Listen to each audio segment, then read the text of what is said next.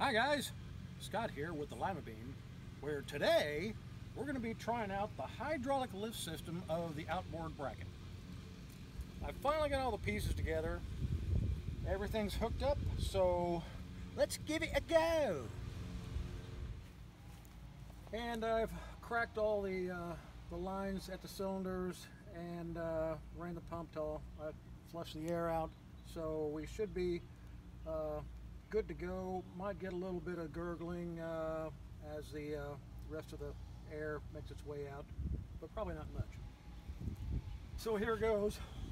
Push the button, Max.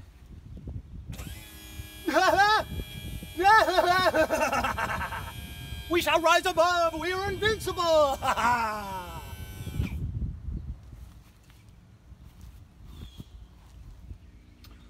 so this is the pump.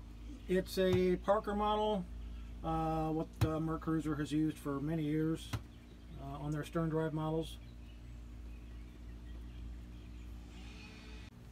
Now we are operating and holding at a leisurely, uh, looks like about 275 psi.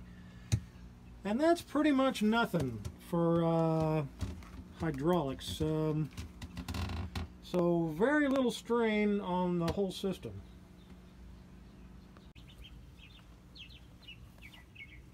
So these lines and fittings I used for this are all from a company called Vibrant Performance. Uh, it's a high performance car line, uh, mostly for fuel, but uh, I chose all these components uh, trying to avoid any problems at all with uh, corrosion between dissimilar metals.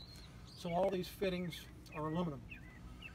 And they're not really rated uh, with any numbers not recommended for high pressure hydraulic, but this really isn't high pressure and I think they'll be just fine. So far so good.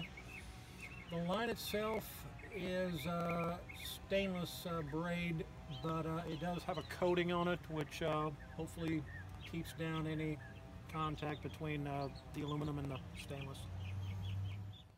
Now with this all the way up here, you can see that my uh, pin bolt through the uh, cylinder is uh, hitting the bracket. So if I want to go higher, I'm going to have to come up with something flush to go in there.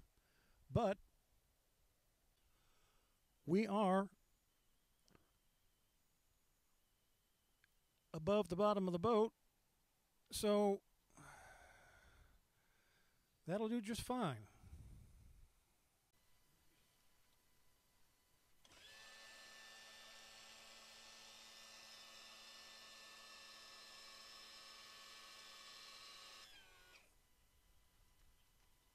That's nice, boys. Wow. That works pretty great. And I'm super happy to finally see it uh, working after all this effort. Pretty happy.